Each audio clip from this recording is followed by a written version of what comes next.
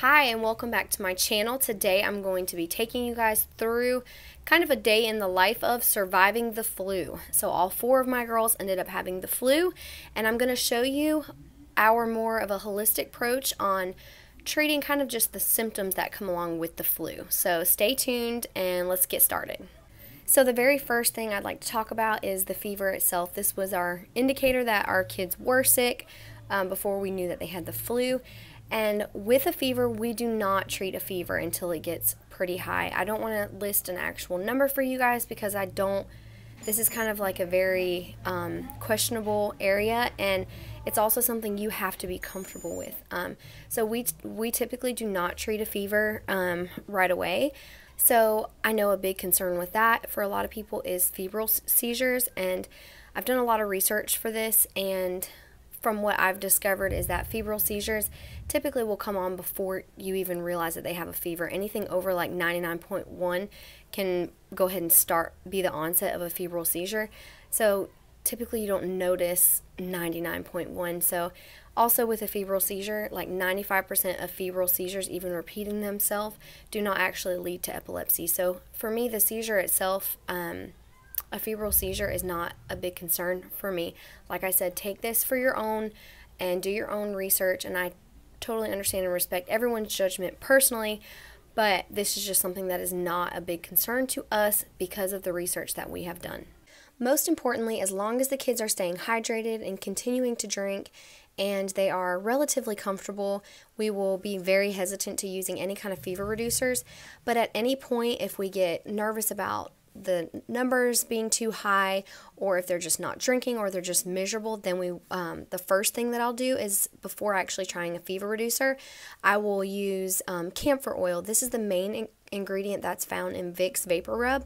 And if i've found many a times if you just rub it on their chest and on their feet it typically will bring their fever down about one degree. And so i'll let that go for about 30 minutes to an hour and then i'll go ahead and check them again. And if it's continuing to go up then i'll use a fever reducer at that point. With that being said another thing when you are doing a more holistic um, care and you aren't using fever reducers, I feel as though you do actually have to be a little bit more um, frequent in checking for their temperatures. So I actually, if they, especially if it's over 100, 101, I will go ahead and check their fever every 30 minutes. And I just want to look for those big spikes um, and just make sure that it's kind of staying consistent. A fever is very important, especially when you're fighting any kind of viral infection, because that is your body's number one response in helping to kill that virus. Anything viral cannot be killed with antibiotics, so the only thing that you really have in combating that is your body's natural response of a fever. So, the next most important part to treating the flu is hydration. This is probably the most important part especially if you have a child that is vomiting because they are losing so many liquids and with their fever being so high, you are going to want to make sure they are very, very hydrated. Being well hydrated also will help if they have a lot of mucus, which is very common as well with the flu. It'll help thin out that mucus so it's easier for, for your body to expel it. There are many ways to stay hydrated when um, fighting the flu. One of my favorites is echinacea tea. There's a lot of research showing that echinacea tea is a great immune builder, which will help to shorten the length of the flu by up to 24 hours. So there's a few different ways that I'll serve echinacea tea. I will either just do hot tea if the kids have a really bad cough, or or I'll just reserve whatever's left over and put it in the fridge and they can do cold tea. I will add honey as a sweetener because honey has, especially um, a specific type of honey called Manuka honey, it has a lot of antiviral as well as anti inflammatory benefits. So these are just little things that you can do in order to help um, shorten the length of that virus. You, I don't think that there's any kind of holistic treatment that you can do that will kill the virus altogether, but you will be able to help shorten the the, the longevity of it as well as help um, with the symptoms. Another thing that I will make is kind of a electrolyte water. So I'll just take water, a little bit of lemon juice, a pinch of Himalayan sea salt, as well as, again, um, I'll add that honey for its antiviral and anti-inflammatory benefits. And I will also add, what else do I put? Ginger. Yes, ginger is a great anti-inflammatory too. So a lot of times when you have a lot of mucus and a lot of um, um, inflammation in your chest or sinuses, this will help with all of that as well. And smoothies, of course, because if a child is not very, they're kind of just groggy and they're not wanting to eat, you can still get those calories while hydrating them. Um, so the smoothie that I made today had papaya and mango, and I added spinach for all the vitamin C that's in that. Smoothies are very, very beneficial because you can pack them full of these vitamin C rich fruits and even vegetables. Um, and this will help as well in aiding in um, killing that virus. The next way we like to combat the flu is through diet. Um, and with this one, it's a little bit less as important as hydration because your kid might not have an appetite. And if your child is not hungry, I don't recommend forcing food on them. Make sure that they're hydrated, but I don't really feel that it's necessary that they're getting these their normal caloric intake because while their body's breaking down that food that requires energy and the less energy or the more energy that they're using to break down food the less energy that their body is actually using to fight that virus. So if they're hungry awesome. If they're not don't stress it. Just continue with dehydration so some foods that i highly recommend when you do have the flu are um, bell peppers oranges grapefruit strawberries anything that's high in vitamin c and actually has a good um, liquid content to it fun fact here is I actually wrote the numbers down. Um, so bell peppers are actually have 142% of your daily value of vitamin C, whereas an orange has only 85%. So it's really crazy how we think of vitamin C and we immediately go to oranges, but actually bell peppers are higher in vitamin C.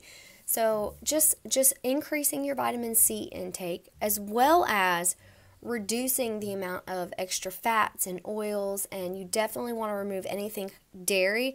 Um, dairy will actually thicken the mucus, um, so you definitely want to remove dairy and fats as well.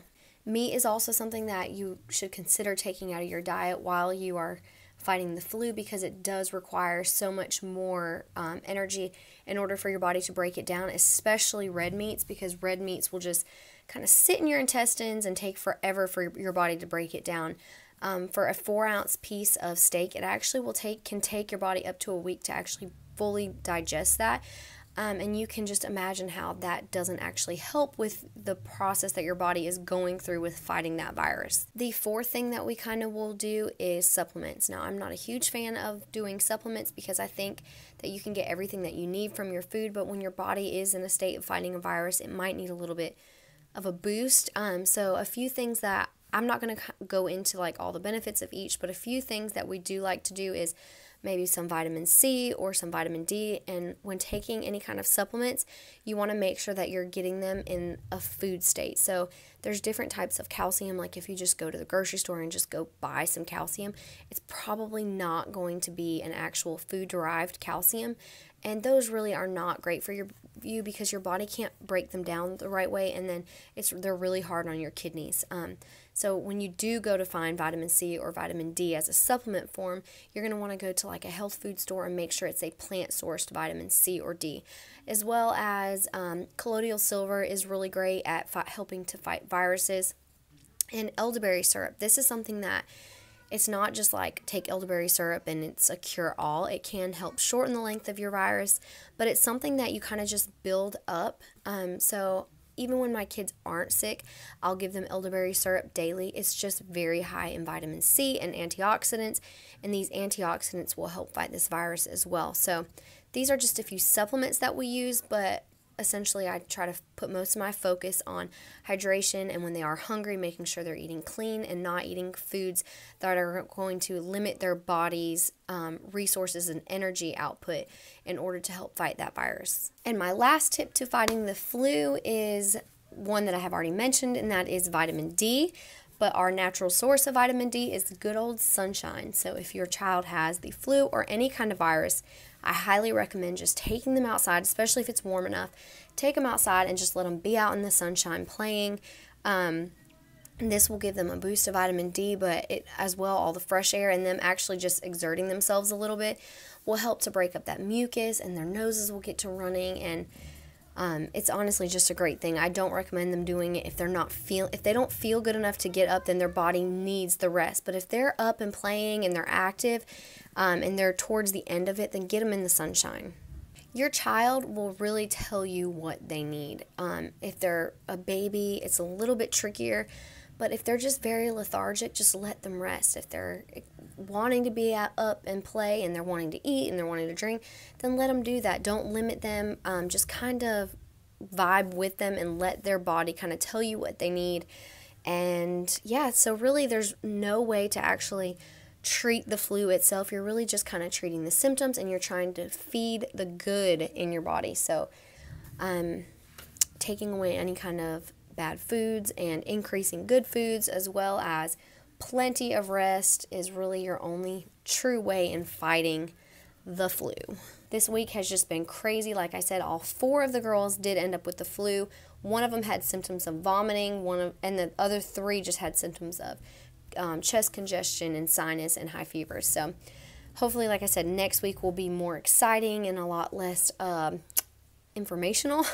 So remember that I am not a medical professional in any way. I highly admire and respect those who are, especially if they are willing to show you different treatment options and not only a one size fits all for all of your children. I love my pediatrician and they are really understanding of the fact that I have like done my own research um, and when I do approach them or my kids are sick and I ask them, "Well, can I do this?"